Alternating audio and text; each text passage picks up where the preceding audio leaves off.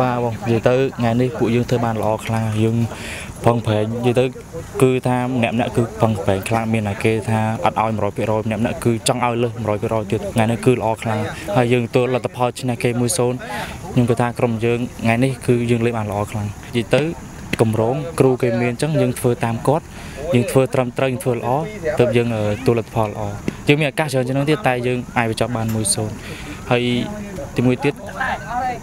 ក្រុមគេខ្លាំងគេធ្វើគេទំធ្លាក់មកពីលីកអីចឹងហើយយើងមកថ្ងៃនេះយើងអាចឈ្នះគេបានគឺថាយើងពីថ្ងៃដែលយើងមករហូតដល់ឥឡូវគឺយើងធ្វើបានល្អច្រើន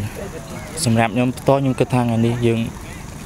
អឺធ្វើការធ្ងន់ជាមួយពួកអីក្រុមនិយាយថាប្រហែលថ្ងៃមុនហ្នឹងដូចថាគេលើលីក2លីកអីដែរអញ្ចឹងគេមានកម្រិតមួយផ្សេងទៀតតែក្រុមខាងនេះគឺគេទំធ្លាក់មកពីលីក1អញ្ចឹងគឺថាគេមានសមត្ថភាពខ្លាំងដែរអញ្ចឹងយើង ប្រឹង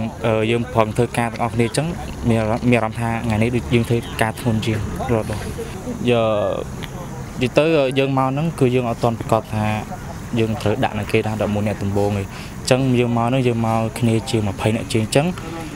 យើងត្រូវការតេស្តកីឡាករអញ្ចឹងហើយយើងចំណុចខ្វះខាតមានច្រើនតែអានេះគឺថា pre season អញ្ចឹងយើងត្រូវការកែតម្រូវច្រើនអញ្ចឹងទៅយើងអត់ទាន់អាចនិយាយទៅចំណុចខ្វះខាតនឹងមានច្រើនតែគឺថាយើងអត់ទាន់កំណត់ថា កន្លែងគឺថាកីឡាករណាយើងត្រូវលេងគឺថាពៀន MCL ចឹងប្រកបចឹងណាយើងត្រូវការរៀនថែមទៀតសម្រាប់ខ្ញុំបើរឿងខ្ញុំមកថ្មីមែនខ្ញុំទូស្គាល់ថាយើងពេលខ្លះក៏យើងមិនទាន់ចិត្តស្និទ្ធដូចគ្នាច្រើនដែរតែសំខាន់យើងខ្មែរដូចគ្នាទេអញ្ចឹងអ្នកខ្លះយើងអត់ដែរហាត់មួយគ្នាមែនតែយើងពូម៉ាក់គ្នាពីមុនមកអញ្ចឹងណាដល់ពេលទៅយើងអាចអារឿងចិត្តស្និទ្ធរឿងការលេងបាល់ក្នុងទីលាននោះអីហ្នឹងយើងអាច យកចិត្តគ្នាច្រើនវាអត់ពិបាកឯរឿងហ្នឹង